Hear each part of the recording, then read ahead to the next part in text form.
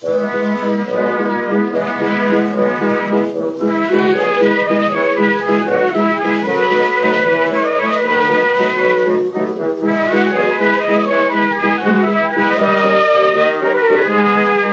to Loremen, a podcast about local legends and obscure curiosities from days of yore. I'm James Shakeshaft. And I'm Alasdair Beckett-King. And if I sound a little bit different, that's because I'm recording on location in Scotland, researching future episodes. So please try to ignore the sound of bagpipes and Lorne sausages, etc. Now, I hear you've got a story for me, James. I'm glad you're not here actually, because I. It's very embarrassing episode. I make a lot of mistakes very early on. Yes. We do correct them. Strap in, law folk. It's the legend of Wild Edric.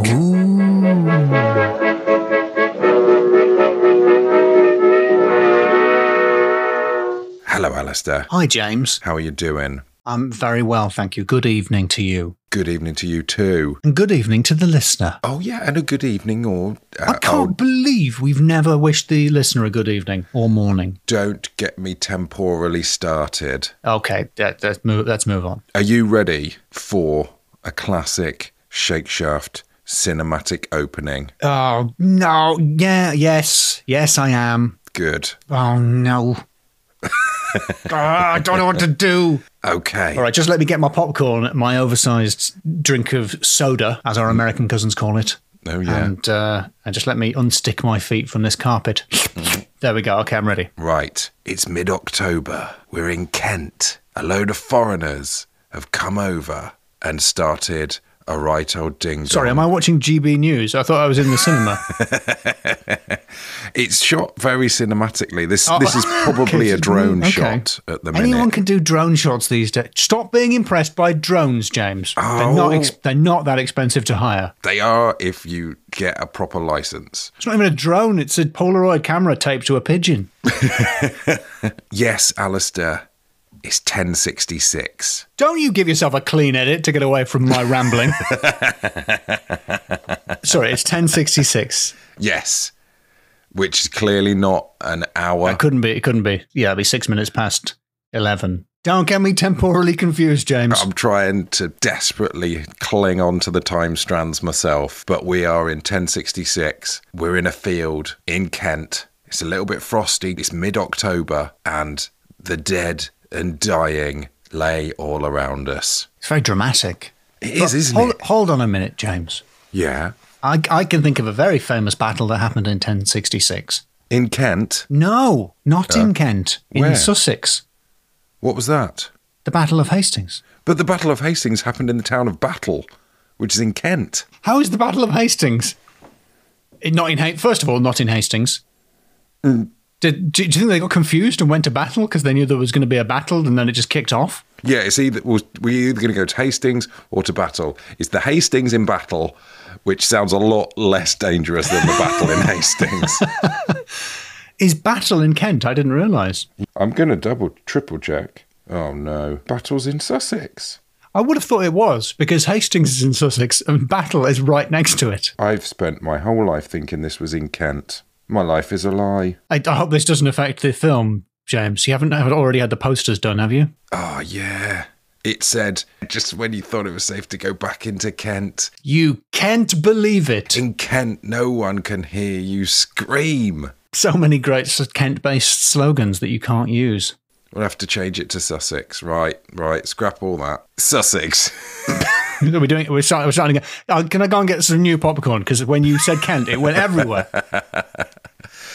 right. So Sussex. Where's Dover? Wait a minute. Dover's in Kent, right? I, I, I'll, I'll be honest. I, I don't know for certain where Dover is. I, I know it's on the coast. Oh man, this doesn't bode well. I, I mean, this is off, off to a terrible start. One of the worst openings I've seen to a film. Yes. I've never seen a film where the title appears and it says what location they're in, and then a minute later corrects that to a different county. Oops.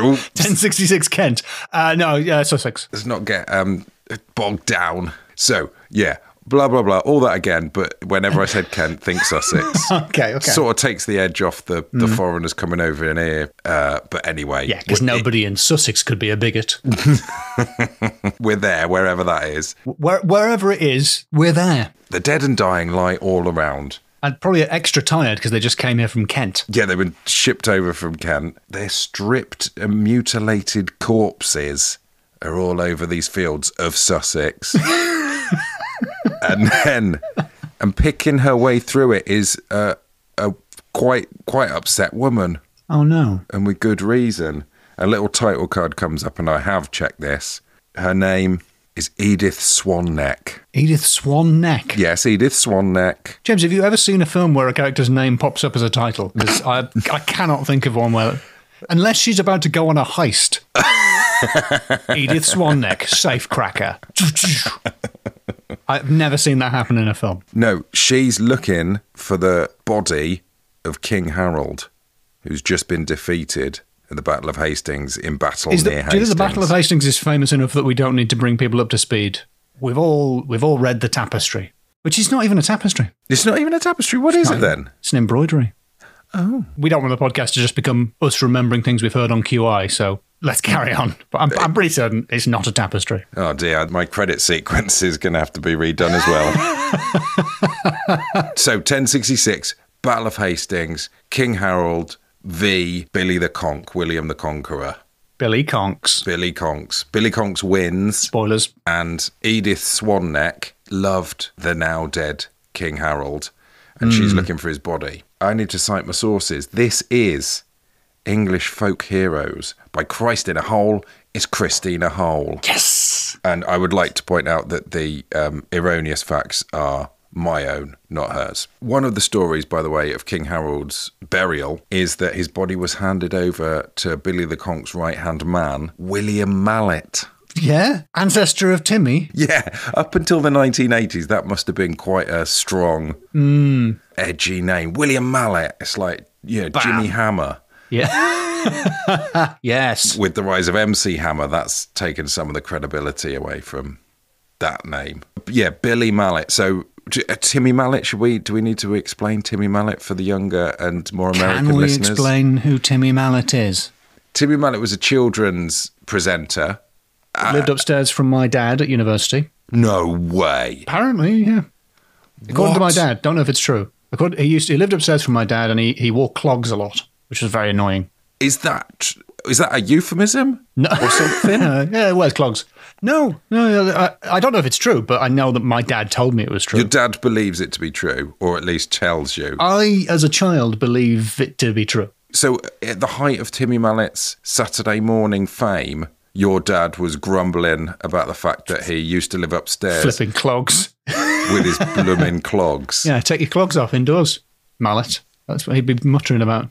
Yeah, blooming clogs. Even to me as a child, I could tell that Timmy Mallett was quite annoying. He's sort of a deliberately wacky persona, um, brightly coloured shirts, funny glasses, and uh, His TV show was called Wacaday. yeah, and he had large sort of uh, plush plush mallets, Mm. uh, uh, and he would bop bop people on the head with them. They were soft toys. He, he was not a murderer. Absolutely not. he used to play Mallett's Mallet, which was a word association game where you mustn't pause, hesitate, repeat a word, or say a word that Timmy Mallett didn't like. Otherwise, you would get a He bash on a the head. capricious god, Timmy Mallet. Uh, he was quick to anger. he was.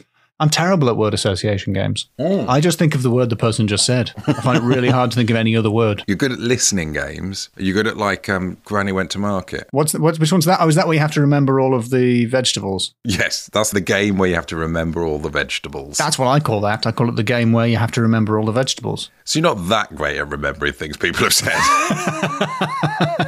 so anyway, that was the opening to my film. Billy Mallet apparently buried King Harold's body on the beach in an unmarked grave. On the beach. Yeah, that seems very disrespectful. It's a terrible. It's going to be washed up. too sandy. It's too sandy. You better not mark it because the, the marker would wash away. Mm. So we're now just after William the Conqueror's conquered, but not everybody's conquered. Post conk. There's still pockets of resistance, and there's two reasonably famous historical slash folkloric characters from that time One is Hereward the Wake. We're not going to talk about him today. We might come Oh, to him okay, another okay. episode.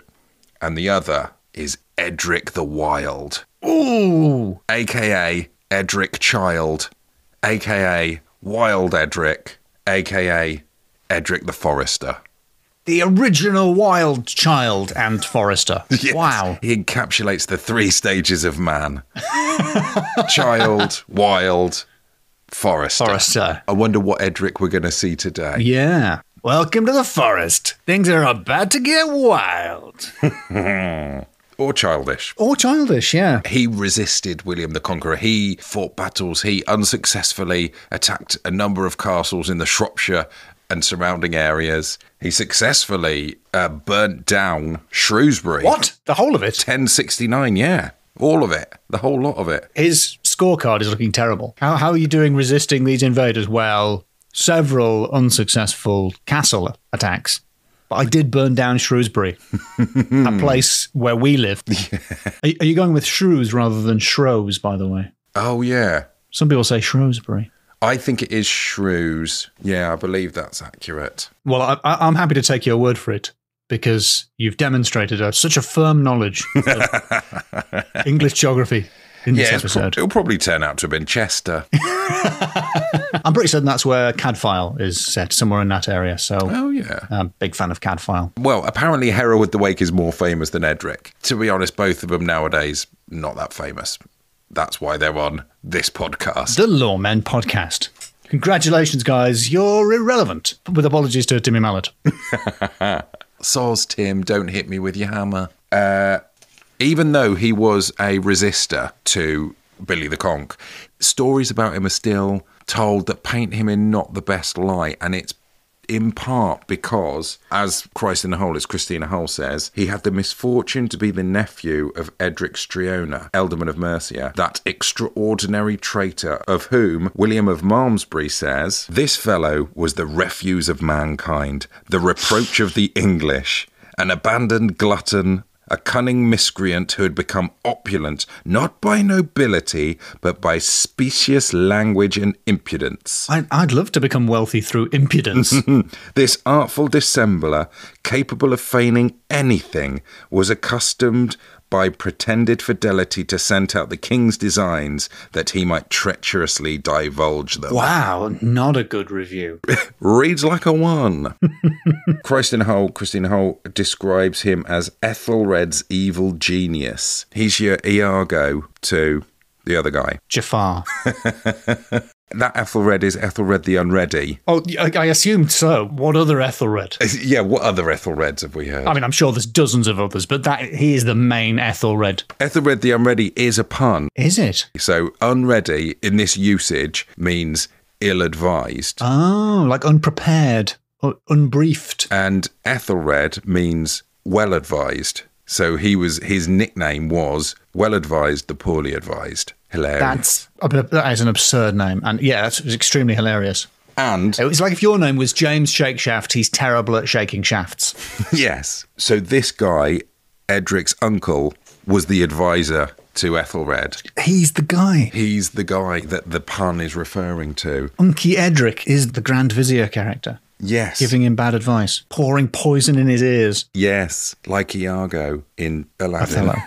I think it's it's Claudius in Hamlet. Yes, the Lion King. Edmund Ironside was also betrayed by him and Canute. Not Canute. Yeah. And Canute finally killed or ordered the killing of Edric very justly, as the Anglo Saxon Chronicle records, which I've said it before and I'll say it again sounds like a newspaper. I love that name. Read all about it. I, I want something more saucy, like the Anglo-Saxon Inquirer, Oh, yes. where it's like a three-headed pig born and is sexy.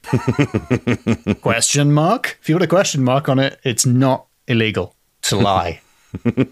So that's why Wild Edric was a little mistrusted. yeah, because he's his nephew of the, the worst Edric I've ever heard of. Although, as I've, I've said before, and I'll say it again, in 1069 he besieged and burnt Shrewsbury with help of the men from Chester. The Chesterman. yes. Chesterman, assemble. And they just like open a drawer and they all pop Yeah, I'm imagining them as a, some kind of furniture. Yeah. Their sort of big villain would be the Ottoman. Oh, yeah. And you can store more in an Ottoman. Sorry, please carry on. He attacked Herefordshire, Whoa! the county. He ravaged the county as far as the River Lug and seriously threatened the Norman garrison in Hereford itself. He was uncaptured and managed to escape William's advancing armies.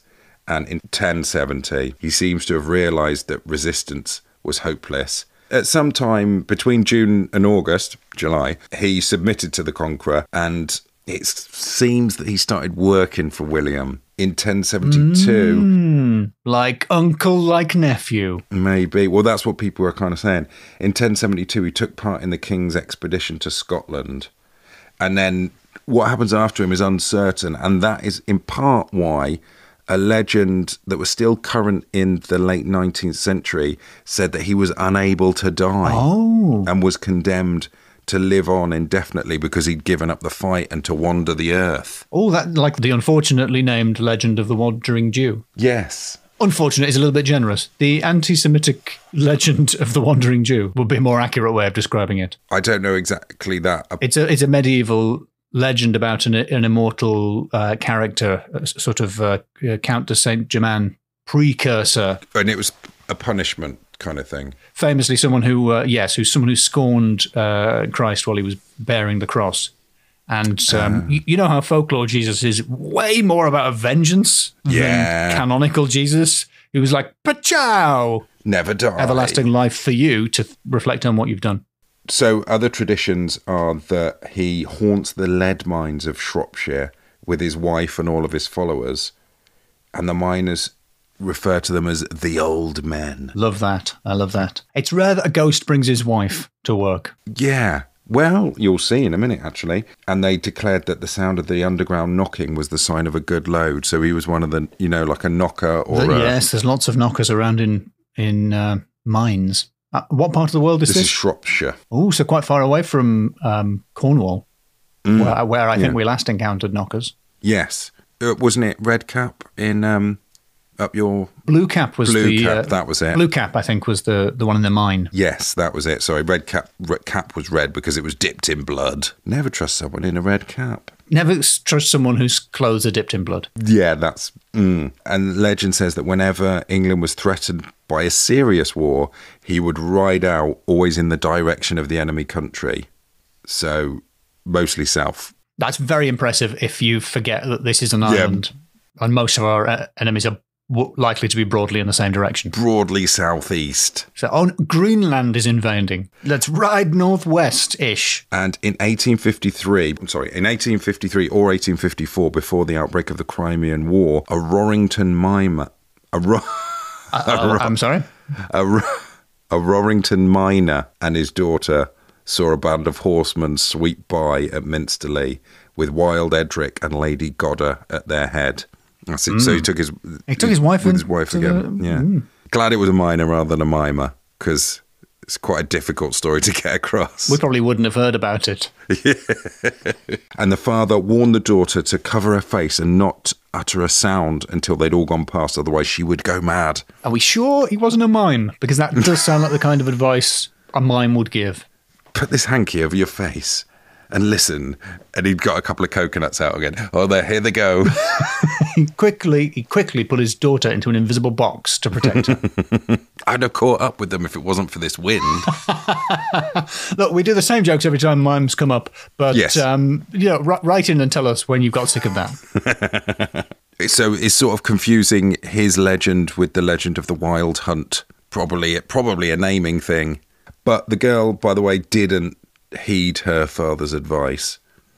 Um, and she said that Edric had dark curly hair and black eyes, and a short green coat and cloak, a green cap with a white feather in it, and a short sword hanging from a golden belt. And that was Wild Edric's last recorded appearance. The preponderance of green is suggestive of fairies. And your boy Robin Hood. Oh, Robbie Hoods. Bobby Hoods. Another feature of these resistors was that they would live in the woods hmm. and they would camp and they would say that like being in a house made you soft. I'd, I've been camping with people like that. It's- Yeah, I've oh, I've spent a lot of time in houses, and I am extremely soft. If proof be need be, here I am. I've been camping a couple of times and it's made me upset. Yeah, I, I, I've been camping with you. Two, two, Oh, yeah. two tall, flimsy men in a tent. Disaster. Dangerous. Yeah, and Christ Hull uh, points out that no one seems to have seen him in 1914 or 1939, so perhaps his punishment is ended. Uh, yeah, because they were quite big wars, weren't they? Those ones. Famously, they were very big. If we're still in a movie, that's the kind of thing you would put in a film. Are we still doing the movie thing? I don't know. I We feel lost I f- enthusiasm for that. Yeah. So, Bomere Pool near Shrewsbury.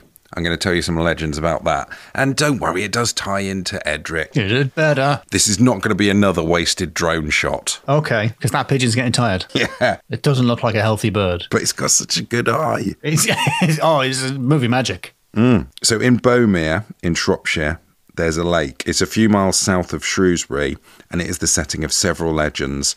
I've switched over now to a friend of the show, Lore of the Land, Westwood and Simpson. And it is said that this pool contains a sunken city, a whole ancient city lies beneath it, which was drowned in a single night's flooding because the either Saxon or Roman inhabitants refused to accept Christianity and mocked the priest who tried to convert them. Wow, how big a pond is it? Well, it's said that it is unfathomably deep, perhaps even bottomless. And unfathomably deep, I think, is a pun. Is that a pun? Because fathoms, Well, you, no, I suppose it's just it could not be fathomed. Fathom, yeah. like they can't tell how deep it is. If, when you fathoming is how you measure depth, so I don't Yeah. think it's a pun. It just means it's too deep to fathom. It's just an accurate use of the word. Okay, I accept that it might be bottomless. Uh, footnote: It isn't, but I accept that it might be. But how wide is it? What's its uh, circumference? Oh, Alasdair, I didn't even know what county Hastings was in. Do you think I know the diameter of a lake? Whenever I mention a lake on the podcast, I know its exact circumference. You just never ask. The full I. I, I know everything about it. Okay, give me two secs then. I'm going to go to YouTube and Google it. Frankly, if you tell me its circumference, I won't be able to visualize that. Could you tell me its width? I don't know why I asked for circumference. Could you tell me its radius, James? I can tell you how far it is from Shrewsbury. That's not useful information. I want to know whether it's wide enough to fit a city in there. I can tell you it is a site of special scientific interest as the most oligotrophic, nutrient poor body of water in Shropshire. The, the, the most oligotrophic. Uh, it features in several of the medieval detective novels about Brother Cadfael. Does it? I'm back on board, James. I'm really glad you brought up this pond. Here he comes, here he comes. Yeah. This is me w- wearing a dressing gown, shaving a patch on my head. Wow. In 1986, a woman out for a walk discovered the bones of a woolly mammoth and three juvenile mammoths in a moss and gravel bog sinkhole nearby. What a, what a morning. Hmm. I think I would have stopped at one woolly mammoth. Yeah. If I was on a walk and I spotted a woolly mammoth, I think I'd be like, ooh, that's probably enough for me today. I wouldn't have gone, I wonder if there are more. I'll go home and I've found three more mammoths. Wow. There was a substantial Roman army camp there and civilian settlement. Shropshire's oldest ghost haunts it. It's a Roman soldier who rows out to find his lover who was lost in a sudden flood. And that happens on Easter. Is that the same flood, do you think? Well, maybe, yeah. Uh, But this is all me padding for time because I cannot find. How wide is the lake? I don't, It's a simple question, James. I can't- If this was Newsnight, you'd be floundering. okay, it's got a surface area of 25 acres Useless to me. I don't know. It's got an average Can't depth. visualize it. of six meters, 6.1 meters, Not quite bottomless there. and a maximum depth of 15.2, which is it's certainly not bottomless. I would call it a bottomed lake. Hmm. Well bottomed, frankly. Well, the reason they thought it was bottomless is because they tried to measure it by letting down ropes with weights tied to the end, and no bottom could be felt. Other people tried to drain Did they try it. to plumb plumb the depths, James? Quite, yes, they did actually, but they found Pl- it. Un- plumb from the Latin plumbum. For to mean lead. lead bum. Which means lead and bum, yeah. You would get some the person with the heaviest bum and attach them to a rope. I'm, I don't think that's worthy of an etymology corner. I'm sure everybody knows where Plumb the depths comes from. the lake is pretty spooky. It said you can hear the sound of the church bell ringing on certain nights. Mm, when we did the the Yorkshire Atlantis, there was a church bell that rang. Yeah, and you can hear the sounds of children screaming Oh, as it is flooded. oh, Yeah. Pretty nasty. Pretty nasty. And it's guarded by a big fish. How big? I, d- I don't know why I'm asking.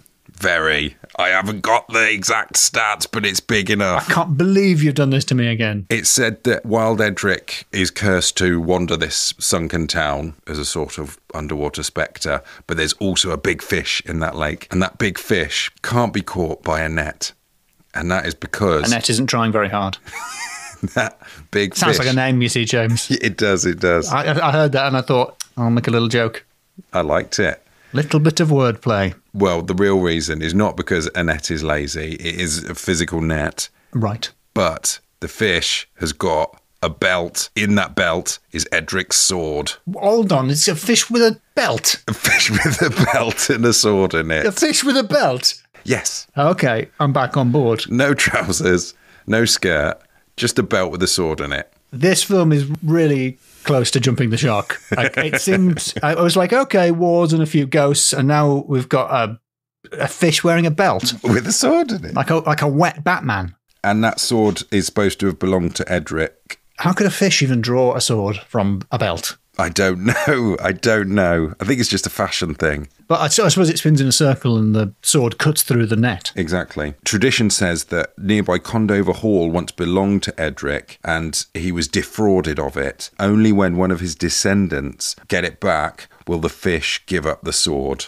So that makes a lot of sense. Yeah, yeah, that seems reasonable. I mean, there's a few more things about Wild Edric, but that, that's a that's a pretty good starting point to um, to end the episode. A good starting point to end an episode. so yeah, it's a great starting point to end the episode.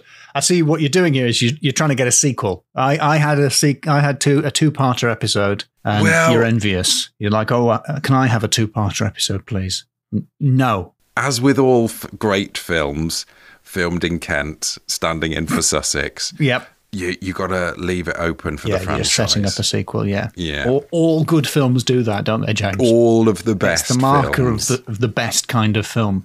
I bet Orson Welles was like, "We all want to see the story of Rosebud, right? we want to see. We want to see what Rosebud's been up to all this time." setting up the prequel. Yeah. So, with that in mind, are you ready to score? Yes, I'd be very happy to score. Excellent. Okay. First up, names. Pretty good. I like Edric the Wild, and he had about five names himself. Edric the Wild, Wild Edric, Edric the Child, Edric the Forester. I don't remember him being a child in the story. I think people seem to think it was something to do with his rank, but even then, he seems to have been leading people to burn down these Shrewsburys. Hmm. If a child told me to burn down Shrewsbury, I wouldn't do it. I'd say, does your mum know that, that you want to do that? Yeah, I would say you. I'm an adult. You can't boss me around. I, I wouldn't try and help the child. I would be instantly suspicious. Mm. I'd say no. Ask James because he's more sympathetic. Other names include Edith Swanneck. Great name. Great name. I hope it wasn't as long as a swan. It would have made it easier for her to scout round the bodies, though.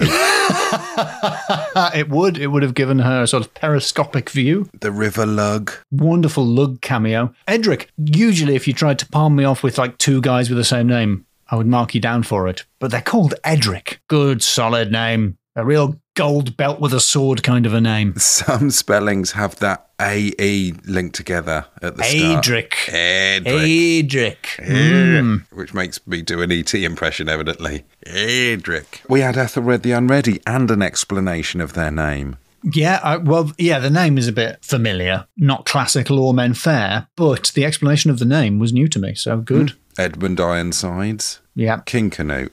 King Canute. Friend of the show, King Canute. And Let me stop you there, James. Billy Mallet. William Mallet. Oh, I, oh sorry. Uh, uh, let me not stop you there. Let, allow you to continue. and of course, William Mallet. Billy Mallet.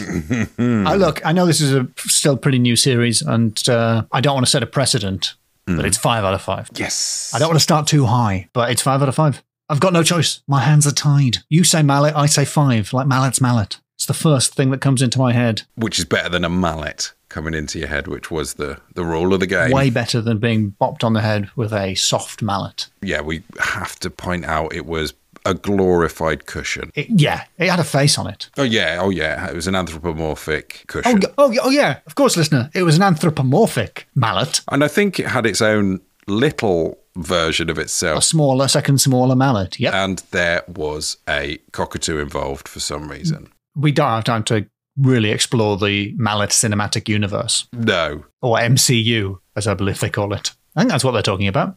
Yeah, I think so. So, second category supernatural, Well, we've got a, a haunted lake of indeterminate width. which is haunted by a Roman in a boat, the sound Yep. of bells, the sound of children screaming, Yes, and Edric himself. and Edric knocking around. And a, an uncatchable immortal fish with clothes on, or at least accessories. An accessorized big fish. Come on, what more do you want? That's pretty excellent. It did make an appearance quite late in the story. It was it was starting to sound like legitimate history for a while. I I think it's uh I think it's a three because it was not replete with ghosts and hmm. spookiness. The the, hmm. the spook the examples of spookiness were all very good, but like you know, was it a, it was it wasn't a real swan's neck. So I feel like I I was missold a swan neck. That hall, by the way, Condover Hall, it's got nothing to do with Edric in like historical terms. He he wasn't born there. He had no claim Oh, to the it. one that he supposedly lived in, he didn't live there. yeah. So the fish is really confused. But local tradition asserts that some 60 years ago, his angry ghost is said to have appeared at the hall and repeated his curse in all its details to the horrified owner and his guests. How many years ago? 60 years, presumably 60 years before this book, which is very old. First published in 1948. Okay, so in the late 19th century, he turned up to a house he'd never lived in Yeah, and just started kicking off. and got really angry at the people who lived there. Yeah. Look, I've I've rented in some uh, dodgy places, and that w- that sort of thing does happen. People will turn up very angry about a situation you you didn't create. There's nothing to do with me. Like I'm telling you, you got to take it up with the landlord. We're just students, and and I know you, I know you're angry, and you needed to get that out. Uh, you know, and to some extent, you just you just want to shout, and that that's okay. But we can't help you. so, okay, that was a that was an undeserved three.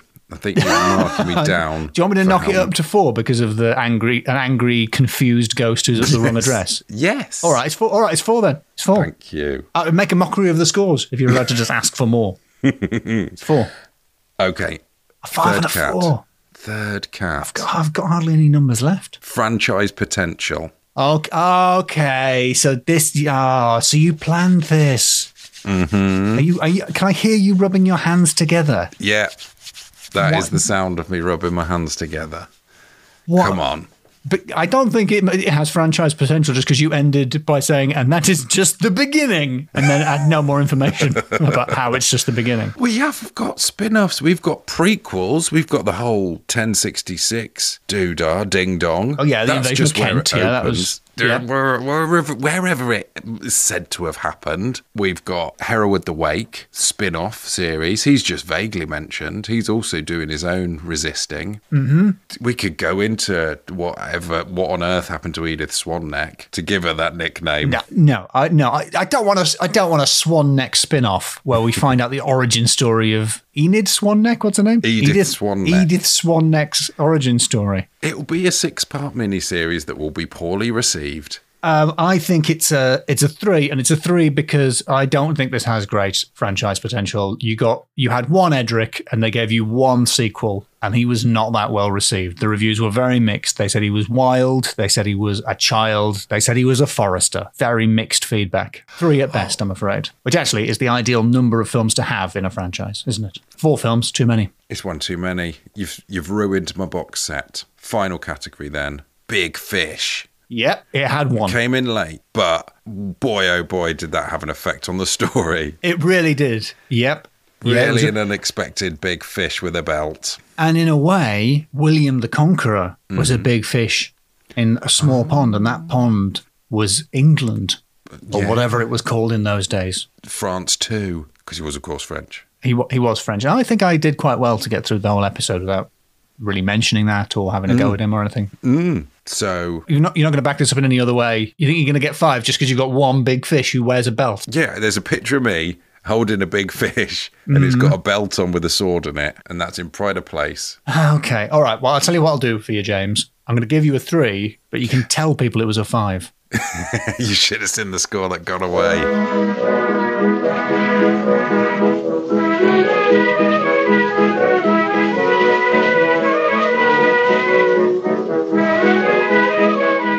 Good episode, James. Well done. Uh, Lorne sausage, by the way, L O R N E sausage, not like your garden sausage. If the listener wanted to hear you make inaccurate statements live, is there an opportunity for that? Say around Halloween? On the 31st of October 2023, as part of the Cheerful Earful Comedy Podcast Festival. So come visit, come say hi and get chilled to your bones. Chilled to your David Bonies.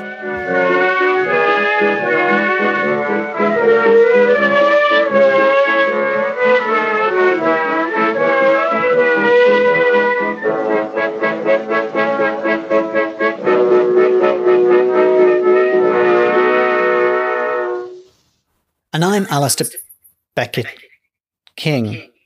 What's going on? Hello? Okay. Sorry about this, James. Something's happened.